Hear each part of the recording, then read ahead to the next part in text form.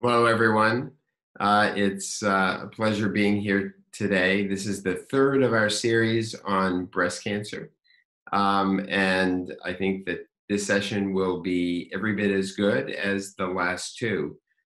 Uh, we're focusing on a different area today, and today we're focusing on breast cancer screening and prevention and early detection.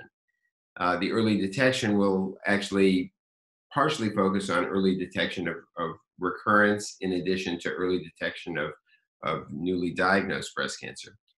We have two experts uh, in the field. Uh, our, our, our two speakers today are doctors Judy Garber and Heather Parsons. Uh, and I first want to introduce uh, Judy. Judy is a professor of medicine at Harvard and director of the Center for Cancer Genetics and, and Prevention at Dana-Farber. She is truly a world, world-renowned expert in this area um, who uh, is on the stage at dozens of international meetings every year, although of course none of us are traveling right at the moment. Um, so we get her here today. Um, but uh, without further delay, I want to introduce uh, Dr. Judy Garber. Judy?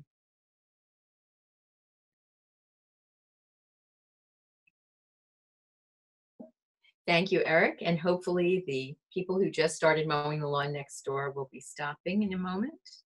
So we won't hear them, I hope.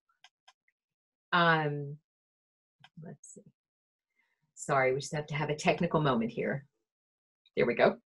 Uh, okay, so I've been given the first part of this and an introduction to breast cancer prevention and early detection in about 15 minutes is a daunting task.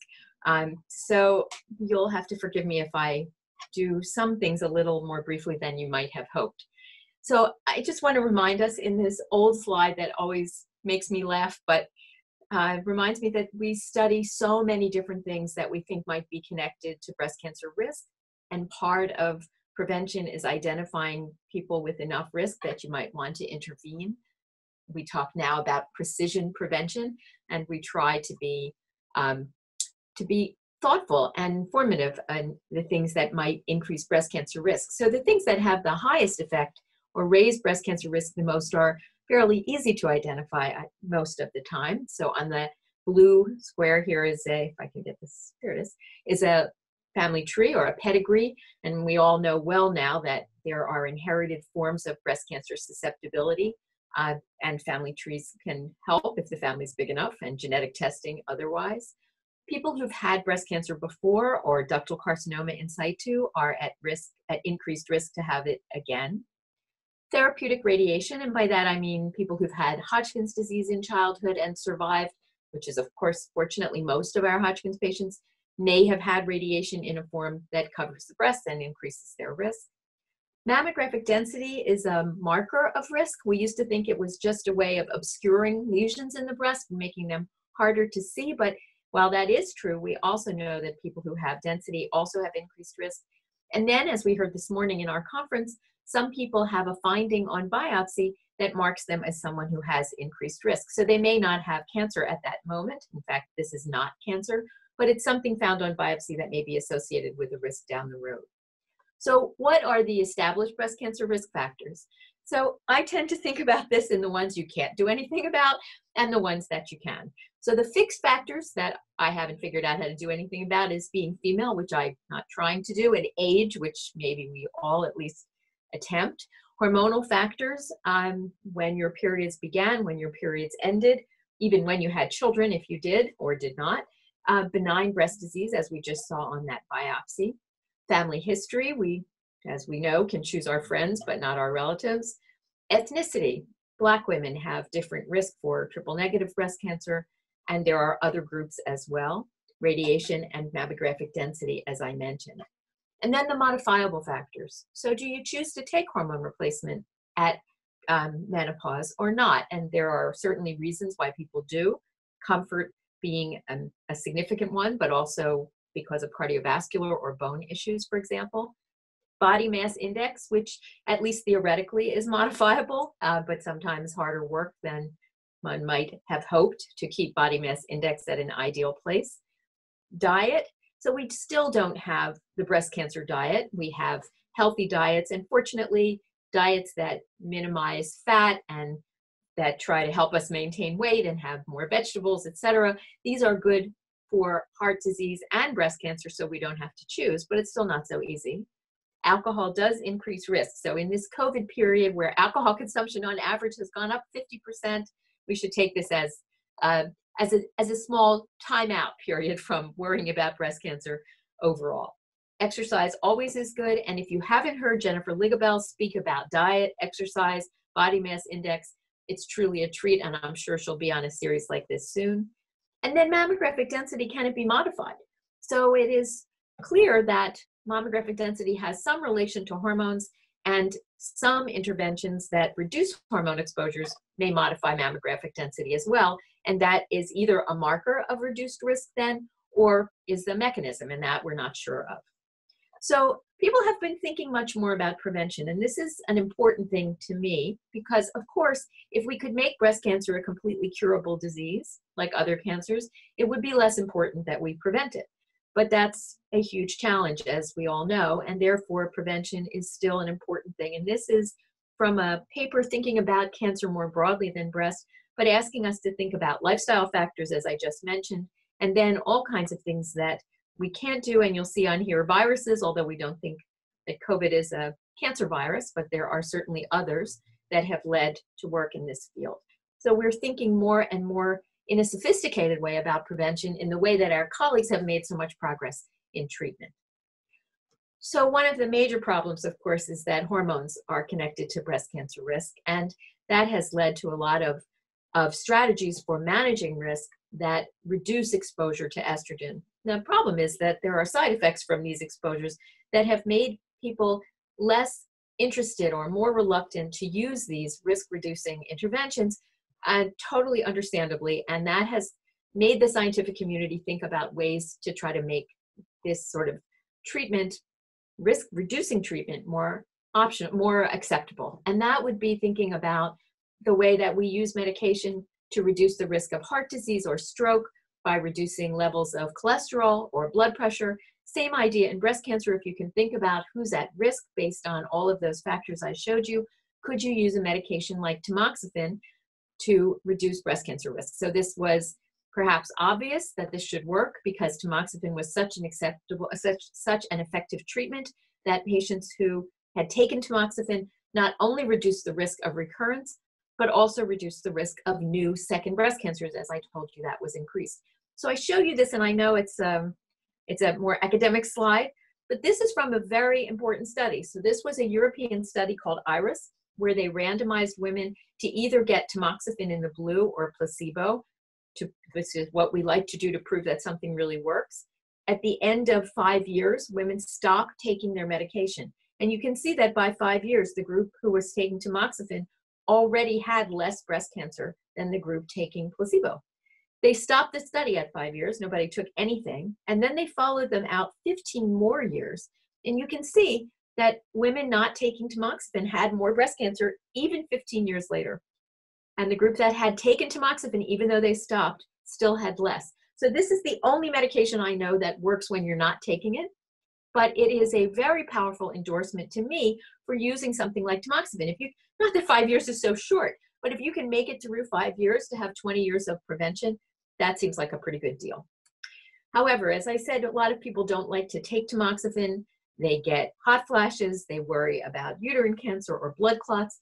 So uh, that was because the tamoxifen studies were done with 20 milligrams of tamoxifen every day, which was the standard dose for treatment. Um, so the Italian group asked, well, if 20 milligrams works, would less also work? Maybe it would work less well but maybe it would be something that women could take. And they set about doing a series of studies to show that low dose tamoxifen, five milligrams a day, might also reduce breast cancer risk. And here, now that you're experts looking at these at slides like this and graphs, you can see that in this case, the placebo group here had again more breast cancers in the follow-up period than people taking less tamoxifen. So these people didn't actually take five a day. You can't get five milligrams they took 10 every other day. So if you can remember to take a pill every other day, in this study, you could show that you still reduce tamoxifen. Now, this is not as long a study, and in this study, they only took the tamoxifen for three years, so a shorter time, but very encouraging data that we might be able to get away with a smaller dose. And as you'd expect, women on this study who had taken took this small dose had many fewer side effects. So maybe we have come to a better strategy. One of the other novel approaches to trying to make this drug acceptable is to make it into a gel. Now, I have to say, I've never understood that this would be acceptable, but we have found that many women in our high risk programs, and that's Dr. King's B-PREP clinic for women with lobular carcinoma in situ or atypical hyperplasia, early lesions found on those biopsies, or in the genetics clinic, um, where women have high risk based on their genes have some women have been willing to take in this study to use tamoxifen in a gel that is rubbed into the breast, and that's what this little cartoon, if I can make my cursor work here, um, shows you how to do. You have to put it on every day. The stuff is very much like Purell.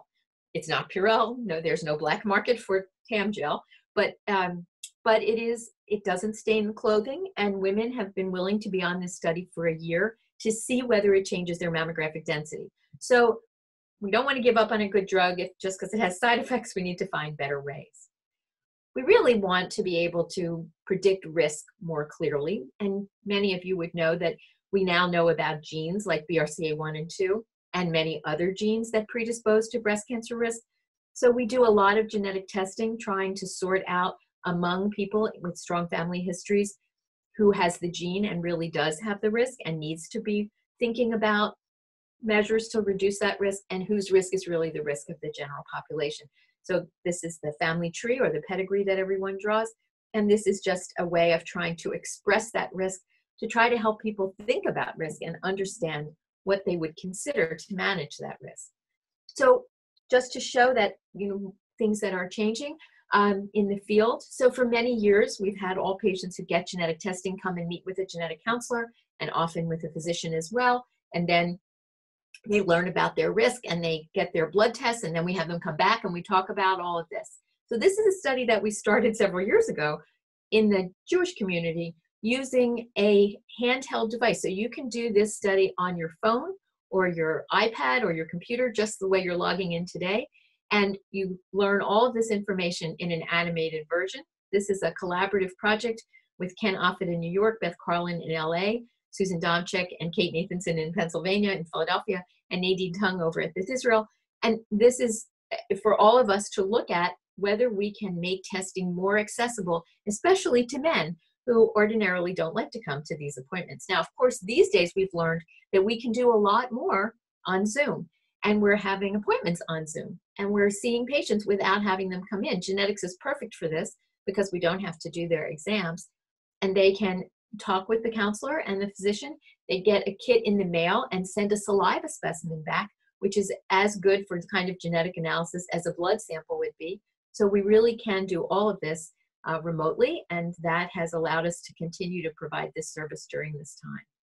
So great, now we have strong genes like BRCA1 and BRCA2, and you may know that at Dana-Farber there are investigators who work on what these genes do and what they don't do correctly when they have an, a mutation that's inherited.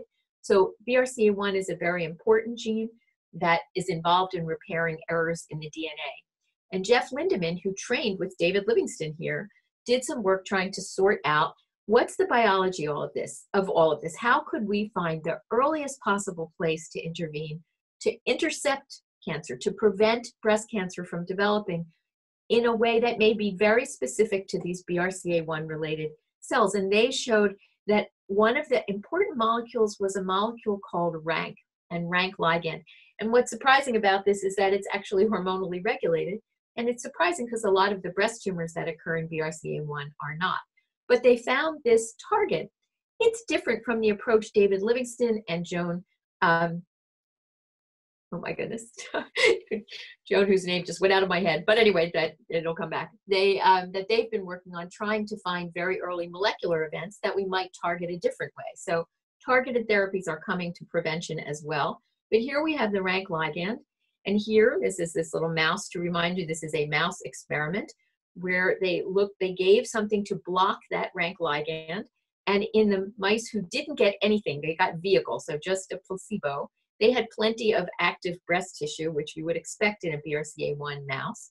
But in the mice who got the inhibitor of rank ligand, their breast tissue totally quieted down and was replaced by fat, which is not a bad thing if you're trying not to get breast cancer, as long as you're not trying to have little mice to feed. And this led to a international study, whoops, um, which is called BRCA-P. This is a trial using the human equivalent of the rank ligand inhibitor called denosumab, which is a bone drug that we often use now to um, in, in our patients with breast cancer, but also other patients to prevent osteoporosis or induce recovery and regaining bone. This drug is being looked at in an international study uh, led by Christian Singer, Jeff Lindeman, I just showed you from Australia, and me. Um, and we will, we, we have started so far in Austria, where Christian is, and Australia, and the US will be starting this summer. And we'll see whether we can, in some women who have completed their families and are willing to delay preventive surgery, for example, to see whether this drug versus a placebo will, would be able to prevent or delay breast cancer. We don't expect them to delay all these things forever, but it's a shorter intervention. And you can see this is a, a, a, a ambitious international study for all of us since it has sites around the world. I can tell you that the only way we can have a conference call of all the investigators is if I get up at four in the morning. So we don't have them very often. Um, one other just thing to think about. So this is for BRCA2, where most of the tumors are hormone driven. This is a monkey, as you can tell. Uh, this is a monkey who was treated with a combination of drugs. This is bazedoxifene, which is kind of like, like tamoxifen and kind of like Faslodex if you've had those hormonal agents for treatment, combined with hormones. And in the monkey, this is just to see what happens to the monkey mammary tissue or breast tissue if you expose it to this drug. So this is estrogen by itself, and you can see there's a lot of stimulation. This is the bazedoxifene, which is the blocker, like tamoxifen, not much activity. And this is the combination, which looks a lot more like the blocker, and that's because the blocker can block estrogen directly. So the question is, does this, would this prevent development of breast cancer in these monkeys, but the addition of the estrogen help keep them from having the side effects that make people not want to take these medications. So with Miles Brown, who works on estrogen regulated substances, we have a prevention trial. This is a very short exposure study, so it's more of a developmental study. But to do that, we still need our colleagues from Dana-Farber, Beth Israel, MD Anderson, UCLA, and University of Pennsylvania. And the exciting thing too about this study is that it was supported after a competition of the Gray Foundation and the V Foundation and some of our Dana-Farber donors who have contributed to this to try to help us make some inroads in BRCA2. So I promise we talk for a little bit about early detection. And if you can't see this on your screen, it says I'd have been here sooner if it hadn't been for early detection. So we do believe in it. Um, and I wanted to mention just briefly that early detection, we all know about mammograms. We know they have their limitations. We know they have radiation. They do have their issues. We have breast MRIs. They require contrast. We're thinking about contrast for mammograms, ways to make our technologies better. And one of the more exciting ways to do that now is to apply artificial intelligence to see if the computer can help us read mammograms better. And these are two images where the computer has identified small breast cancers. Very hard to see, to try to enhance what the radiologist can do. And there's a big study in Boston funded by the Breast Cancer Research Foundation that's between MIT, where the artificial intelligence part comes from, and Mass General with the mammograms. And the, my understanding is that Dana-Farber Brigham will be part of this soon, where we will try to improve our ability to at least make the best of what we have and make these better. I think this is incredibly exciting, not only in mammograms, but also in pathology. So we'll see if this helps. And then just to connect life to Heather, just this week, excuse me, just last week at the um, American Association for Cancer Research, there was a very exciting presentation of something that we've all hoped for for a long time. What if we could avoid all these uncomfortable uh, imaging tests and just get a blood test to tell us if we had early cancer? And could it be so early that it was before it was even detectable by one of these other modalities? So there were two presentations at the meeting uh, trying to see whether you could find tumor DNA, tiny, tiny amounts in the blood of people um, who either, in this case, whoops, sorry, one of them was in a study of people who thought they might have cancer. They were being evaluated with biopsies, etc., so they could compare the blood test. And the other was in a group of women who are being followed over time, where it's expected that some of them will get cancer. And they both showed that you could detect early cancer. It's very early in the game for this. I don't think that this is quite ready to use. One of the problems is that if you can find this in a blood test, but you can't tell where it came from because the imaging is not able to find it, how much do you trust it and what are you going to do about it? But that's actually getting better, the, the specificity of it. If we can get this to work, what a great thing it would be for our high risk patients to spare them from having to have so much imaging all the time, always feeling like they're looking over their shoulders for something to happen. This technology is very exciting and as often is the case will first be used in treatment and that's what Heather's going to talk to us about, but is making progress on the prevention side as well. And that's another factor that we find extremely exciting. So I think um, we always feel like in prevention, people are choosing between risks and benefits. This is a great moment for that. We've all got lots of risks and benefits to weigh. Um, and this is just our group um, who works on this all the time and are still working on this, even though it's the COVID pandemic and we can't be together. Eric? Great. Judy, thanks so much. Um, so just so that everyone knows, we will have time for a question period at the after the next talk. Um, and we will take any questions, hopefully somewhat related to these topics, um, that, uh, that you want to ask. Um, so think of your questions. Um, our next speaker is Heather Parsons. Heather is an assistant professor uh, at Harvard Medical School um, and a member of our breast oncology group.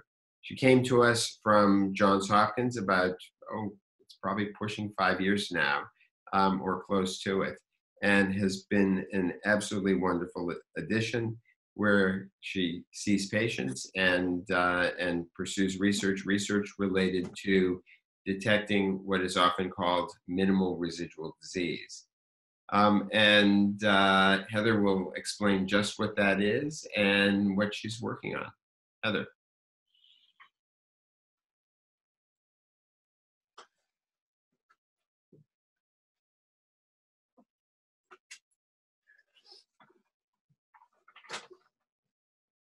All right.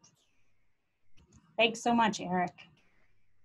So I wanted to talk, and thank you, Judy, for the, the great segue, um, a little bit about our work on liquid biopsy and what we call minimal residual disease um, in breast cancer specifically, which has been my uh, area of interest. And it's, you know, the early detection um, studies that came out last week are incredibly exciting. Um, we are also really excited about the potential for this liquid biopsy, circulating tumor DNA, or minimal residual disease detection to for patients who have had uh, cancer and to, to hopefully shape how we treat people going forward and, and um, improve it. So we know that breast cancer affects many, many women, um, one in eight in the United States, and that that means that every year there are about 270,000 um, patients newly diagnosed with breast cancer. And in the United States, there are more than four and a half million breast cancer survivors. Thankfully, most patients are cured, but not all patients. And the, the excellent outcomes for many of our patients with breast cancer are really due to uh, screening programs that have um, that are very widely with wide uptake and as well as excellent um, improvements in treatment over the years. But we still unfortunately lose about 40,000 mostly women every year to breast cancer. And because we can't figure out often who the people with lethal disease are, we end up overtreating many of them and undertreating some of some of them. So wouldn't it be great if we could uh, through liquid biopsy or some other means figure out a better way of understanding who exactly the patients are who have lethal disease. And my mission sort of with this kind of approach, with this minimal residual disease approach, has been really to identify those patients that on this slide look so obvious, but in reality in our clinics are, are not necessarily so. And if we could identify those patients, we could potentially deliver new therapies uh, in development to patients who need them the most. Um, we could potentially reduce overtreatment of early stage breast cancer if we had a, a very, very sensitive test. And we could determine whether patients who have this minimal residual disease, um, whether we could really get rid of that minimal residual disease and cure patients who we might not otherwise have cured. So the question from there is really, can we detect these tiniest bit of circulating tumor DNA in the blood, in the body? Minimal residual disease should step back and say is, is really a, is cancer that's still there that we can't see by regular means, by scans or other tests that we have, conventional tests. Um, and the way that we think about minimal residual disease is really as from circulating tumor DNA is a fingerprint of patients' cancers. And we know that we take advantage of the fact that everybody's cancer, who anyone who has cancer, really has, by definition, genetic changes in the DNA that make it so, make it itself. And those are those are the fingerprints that we can then identify because circulating tumor DNA, these tiny bits of, can- of DNA that are, are released by cancer cells as well as normal cells, which is um, one of the challenges of, of this technology, are released into the, the, the, the DNA is released into the bloodstream. And with technologies, we're able to detect it um, and to find the pieces that are related and come from the cancer. So this is not, we are not the only, by far the only groups working on this um, uh, approach. And early breast cancer studies of minimal residual disease showed promise. There's a study that was published in 2015 that showed that if you detected MRD in the body, a patient with breast cancer who had had breast cancer was 12 times more likely to develop recurrence than a patient who didn't have um, MRD. And most of the patients who had who did not have MRD did not develop recurrence. So this is an exciting proof of principle, but there were some difficulties with this. We know that overall in the body, the level of DNA in circulation is very low. Um, it's very hard to detect. And mostly it's coming from the normal white blood cells. So you have to get away. That's sort of the, we're looking for the signal, which is the really this needle in the haystack. Um, and we're trying to sort it out from the noise of the white blood cells. We also had an unknown time, and this is still probably true, but unknown time from when the MRD became detectable to when somebody's cancer would present, would come back. Um, and, and that's something that, that is important to understand for deciding whether it's possible to help um, change the course of treatment based on that test. And then some patients didn't have a fingerprint to track in the early versions of the test. So if you looked for the fingerprint, you actually couldn't find it by the first conventional methods that were, that were in use. Um, and a, about a third of patients, or more than that, in the early studies weren't able to even be included because of this. So we wanted to work to improve that. And our goals, and I say our because it's, it's this is work that I've been doing together with, um, it's a, a quite a lot of people. So it's myself leading it on the Dana-Farber side. I work very closely with a collaborator, um, Viktor Adalsteinsson, who's at the Broad Institute. We also work with um, some of our more, um, uh, some of my colleagues who have run some clinical trials here, Ann Partridge and Erica Mayer, um, and the patients themselves who have donated samples. Um, so it's a, it's a big effort. Um, the goals here are really first to develop the best possible test to detect all cancer recurrences in all breast cancer patients. And we don't want any false positives. We don't want to find MRD if it's not really there. And the second goal is really to figure out whether identifying MRD makes a difference for patients. Because if we find this test and yet we can't do anything to help change the course of care and to help patients do better, then, then what use is that test anyway? So we sought out to identify a, a, fingerprint for every patient using what we call whole exome sequencing of a patient's tumor. And we could identify up to hundreds of mutations or changes in the patient DNA um, from that tumor. And then we looked for those, that fingerprint, so again, up to hundreds of, of, of, um, of parts of the fingerprint rather than just one in the blood test. And we applied this test after we got it working, applied this to a cohort of patients and patient samples um, who had donated blood. So this is a picture, a graph of, of, the year one blood samples. So patients had completed their breast cancer therapy. They had, um, they were a year out from that and they donated a, a, sample of blood. And we looked in the blood to see whether we could detect MRD. And then we looked at whether patients had a distant recurrence, so that whether their cancer came back. And we saw that we were able to find MRD in patients, and if they had MRD positive blood at that time, they were 21 times more likely to develop cancer recurrence. Um, we also were able to detect it quite a, a, long time before patients actually had recurrence. It was about, on average, about 19 months before and up to 39 months, um, which was exciting to see because that felt like a time that we might be able to do something about the, the um, MRD. And, and we also found no false positives, which was our goal. So this is an exciting uh, finding, and, and we, we recently published this, but then we need to start where we are asking now, where do we go from here? This is exciting, but we need to um, apply this um, to patients and see if we can make a difference. So we go back to our these goals and first, you know, what can we develop the best possible to test to detect all cancer recurrences in all patients, no false positives. So we just submitted a another manuscript improving on the first um, first approach by tracking uh, actually thousands of, of parts of the fingerprint in a blood sample. Um, and it's it, we also are improving it in ways that will make it um, very feasible and affordable um, to do the testing. So that's that's an exciting improvement that that my colleague Viktor um, has been leading. And then in terms of the second goal, um, I think we're making a lot of progress here in terms of figuring out whether we can make a difference for patients. We're first working, and we're working in a few different kinds of breast cancer. Um, we have a study that we um, where we're studying this in a group of patients that Erica Mayer on a study that Erica Mayer led of patients with triple negative breast cancer.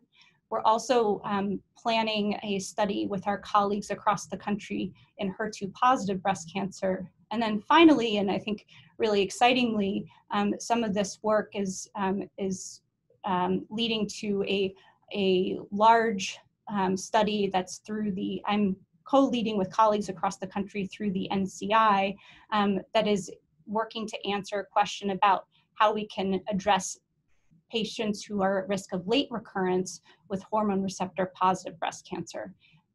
So that's some of some of what's to come, and I hope that um, those are those are fruitful as well going forward. Um, I just wanted to say thank you to all of you for your time, but also thank you to the the funders of this work. And as you can see, um, these are all um, foundational uh, funds, and I think one important thing that Viktor and I found, we are both relatively early in our careers, and this was a high risk, high reward type of work. And um, these are not, this is not the kind of project that would be ripe for NIH funding. So the these um, funders were were generous and took a risk on us, and I, I, I think it's I hope for them that it feels like it has paid off. So thank you all, and I'll I'll leave it uh, turn it over to Eric now um, for for questions. Sure. Heather, thanks so much. Um, before we get to questions, I just wanted to very briefly uh, address how we've been dealing with COVID and the impact it's had on us at Dana-Farber. Obviously, we, like the rest of the world, has been profound, have been profoundly affected. Um, and we, of course, worry a great deal about our patients. We worry about their physical health. We worry about their emotional health unfortunately, cancer doesn't necessarily wait for COVID to be over. Um, and at the same time, cancer doesn't make it easier if you're somebody um, who's dealing with COVID. Uh, the social isolation is difficult for patients, um, and worrying about whether or not people will somehow be cut off from us, from what they perceive at times to be their lifeline, is, is something that's been very troubling for them. I'm hopeful at the moment that we're beginning to see uh, a, a, downturn uh, in terms of COVID cases. We've seen that the past two days. We know that hospitalizations are down. We're beginning to thought about how we're going to resume the new normal in terms of uh, the way we function. What I will tell you is that over the past six weeks, we've tried very, very hard to both make sure that our patients get the best possible care, which in some cases does mean delaying care because um, there are certain procedures and visits that simply don't need to happen acutely. And, and for those, we're better off pushing the time off a bit um, and letting people stay at home rather than come into contact with many other people in a healthcare environment. But at the same time, we've, we've been very careful not to put off treatments and procedures that really need to happen. And um, I'm proud to say that I think Dana Farber is probably about the safest place to be at the moment if you have to be anywhere in public. It's certainly far better than Whole Foods or CVS or any such place like that. Um, everybody is masked, and many people uh, are wearing face shields. And on top of it all, um, our patients, I think, have taken all of the warnings very, very seriously and are practicing in what I would call intense social distancing. So we're probably seeing the lowest risk people, and at the same time, I think our staff have also um, done the same. And I, I really have to have to just applaud the nurses and doctors and everybody else who works at Dana Farber who's done such a phenomenal job. Um, again, I, I think that we're going to be back to some sense of uh, normal functioning over the next couple of months and it's going to be a very very slow processing excuse me a very slow process. Um, that said we are um, looking at ways of doing more and more of our visits through video when that's appropriate. We're doing that because patients seem to like it a great deal and because we do need to make sure that the clinics aren't crowded um, so that there's both more room for for uh, for the staff and more room for the patients um, I want to now uh, open things up for, for questions. We have a, a few questions uh, that have come in, and I want to encourage all of you to submit uh, additional questions as well. Um, so, first for Judy, um, what about the family that has multiple relatives with breast cancer, maybe relatives with other cancers as well, and you do genetic testing and you don't find anything. How do you manage those people? How frequently does that occur? So it happens a lot.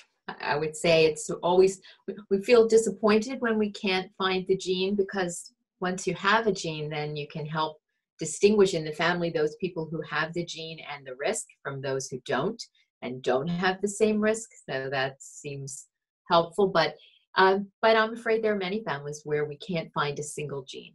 So we don't really expect most of breast cancer to be explained by a single gene, you know, maybe 10%. We think there are other less powerful genes that are just harder to find, and that's why we sometimes still ask people to be in research projects. But I think we, like for everyone, we look at the family history as one factor in all of the risk. There are models now to help us consider reproductive factors, age at first pregnancy if you had pregnancies or didn't, um, age at when your periods began, age at menopause, other reproductive factors, now mammographic density, all of these things to try to help us predict risk in a different way than just the genes and to still try to match the risk that we come up with with the most appropriate care.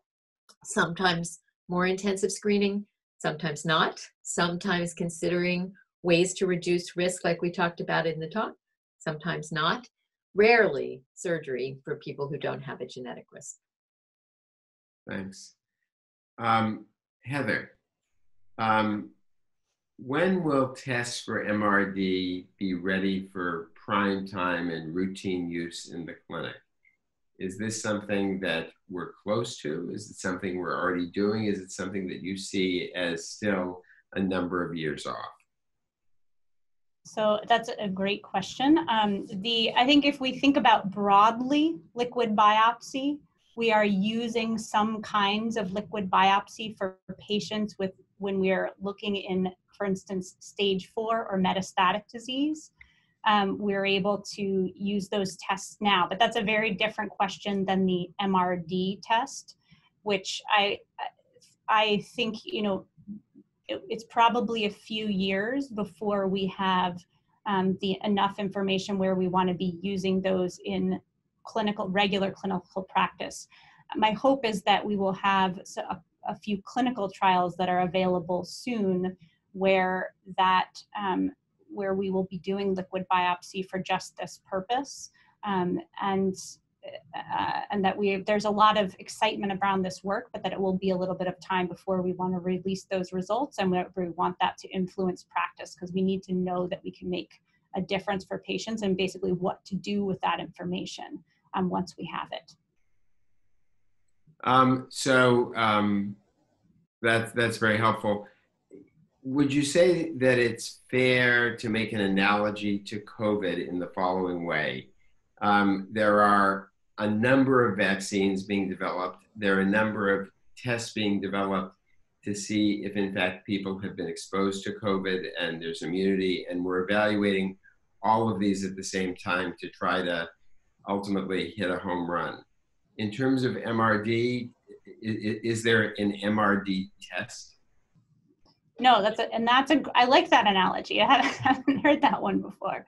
But I think there are many right now, many potential tests, um, and that the technology is rapidly, rapidly evolving and getting better. And there's a, a, a intense competition as well. I think also in the COVID world and the COVID vaccine and testing world. Uh, which is good. Uh, it's good for good for the people doing the work. It's most it's most good for um, the patients who will um, hopefully benefit from these potential tests. But right now, it's a concept with a number of actual technologies.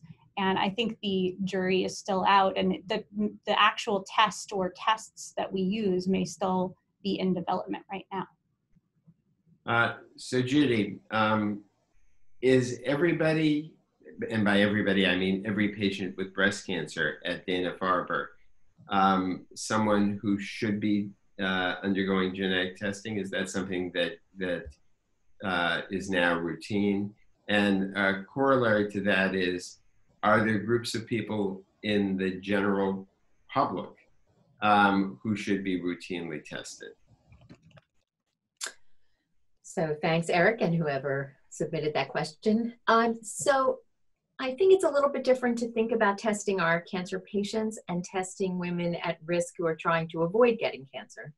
I mean, we feel like we've to some extent we failed the ones who have. But why would someone with cancer get tested? Well partly to see whether the cancer developed because of a gene so that that information might benefit the rest of the family.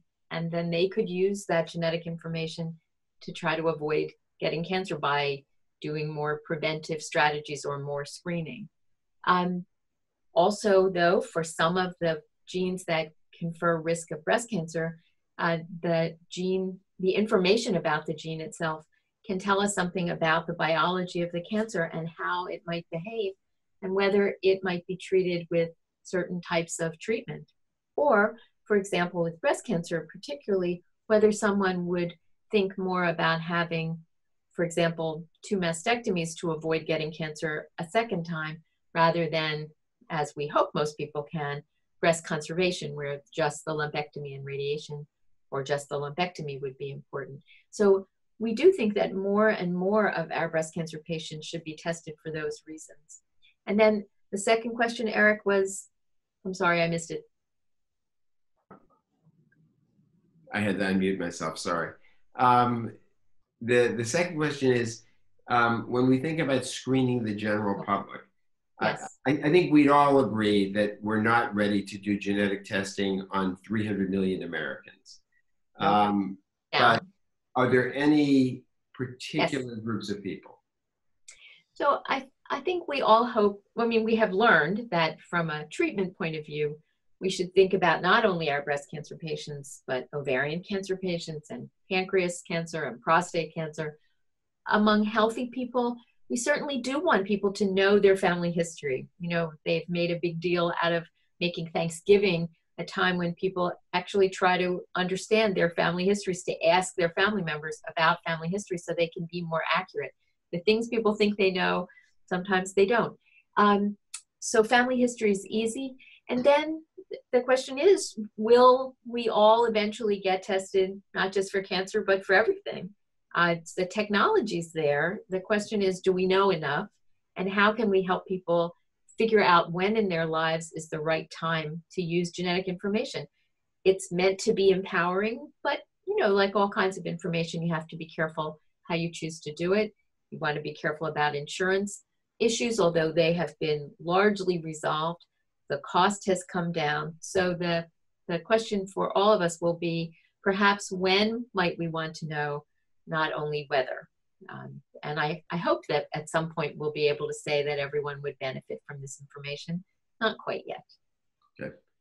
Uh, so Heather, um, for a patient with with metastatic or advanced breast cancer, where the cancer has has spread beyond the breast and lymph nodes to other parts of the body, could you imagine that tests um, that fall within the category of MRD tests could be useful in terms of monitoring that patient and how would you do that? So yes, I think for many tests, uh, it, it, depends on the particular situation. And we might imagine some kind of a, um, right now we have tumor markers and people may be familiar with tumor markers. Um, those are those are blood tests that have been around for quite a long time um, that measure some proteins in the blood um, that may or may not go along with the course of treatment for cancer. And those, this is, it's, there are studies and we are, um, are doing some work to look at whether this MRD type approach or a liquid biopsy approach could do a better job than that and perhaps let patients avoid frequent scans or reassure, provide reassurance, um, provide a, a, message that maybe something's changing in the cancer and it may be time to think about considering switching treatment. Um, so for sure. Um, and then there's some interesting work in HER2 positive breast cancer as well, where we think patients may, there are some patients may be, um, I hesitate to say cure, but, but have a very long-term response to their therapies. And we are now planning to do some tests um, in, in those group, that group of patients to see whether this kind of a technology might be able to identify patients who are um, really sort of uh, have their disease at bay for quite a long time.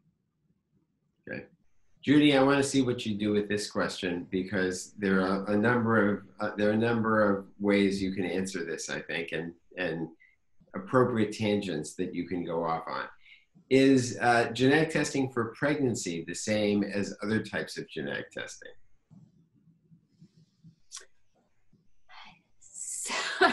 well, um, genes are genes. So, yes, the way most of the genetic testing is done these days is to use a technology like Heather uses to try and sequence the genes, to read the DNA letters in the gene to, to make sure that they are um, of the right sequence, to make sure that the proteins will be correct, that the baby will be fine, and that cancer won't develop, um, or that cancer has developed, cancer's already accumulate a lot of different changes in the genes. So this the technology that way is not so different.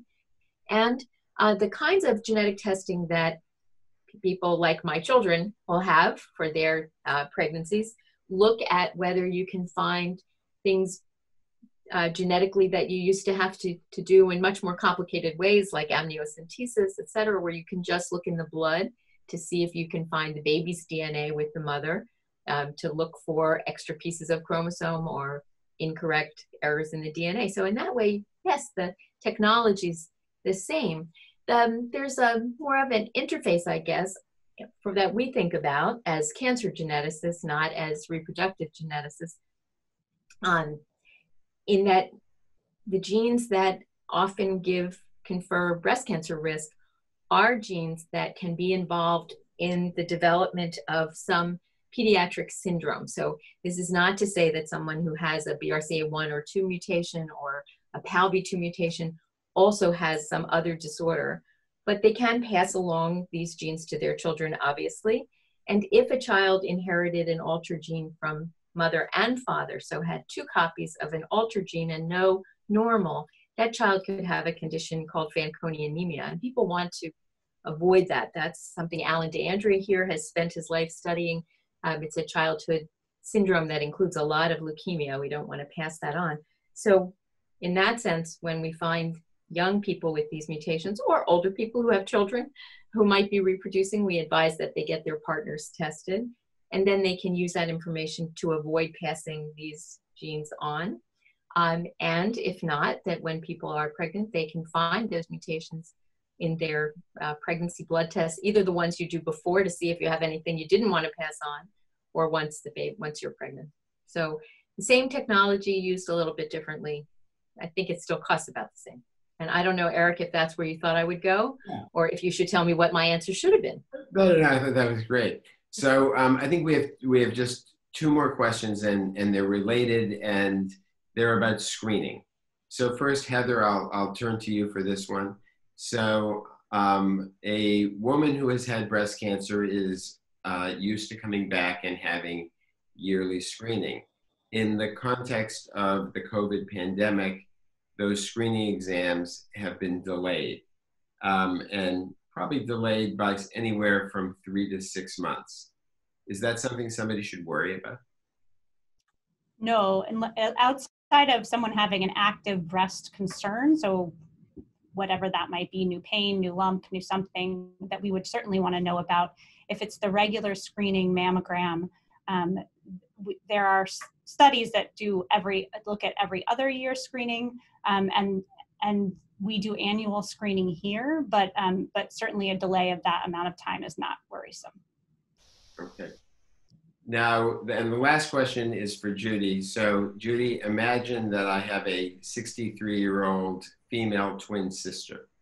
Um, and um, how often should she get screening mammography? She's never um, been diagnosed with breast cancer and is not at particular risk. What's the range of recommendations that are out there, and how do people know what to do? Wow. I'm still getting used to Eric's having a twin sister. I should try to picture Eric's twin sister. It's be interesting. Uh, he does have a sister.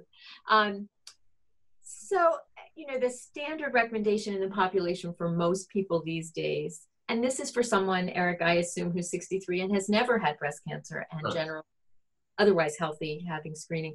Uh, the recommendations range from mammograms once a year to mammograms every other year which as you get older tends to get perhaps even a little better as a performed test. Um, if your family had more family history, or if, let's say, she had very dense tissue on mammogram, she might speak with her primary care physician about whether it's worth thinking about another technology to try to make sure you're not missing anything. People talk about breast ultrasound, which I have to say I'm not a huge fan of. It's not a great test, breast MRI, which has its own problems. You have to have an injection. Um, and most people, certainly by 63, may not need to do that. But it's a good time to talk to your primary about um, whether this is important. There actually is an age when most people stop, but 63 is too young, I'm happy to say, for that. Um, breast exams, you know, we still do them. We don't any longer encourage women to do so much self exam because it really unfortunately doesn't work. You want to find things before you can feel them. That's what the imaging is for. Um, and we're not yet ready for the blood tests, but boy, I hope they happen before I'm finished. So keep at it, Heather. Great.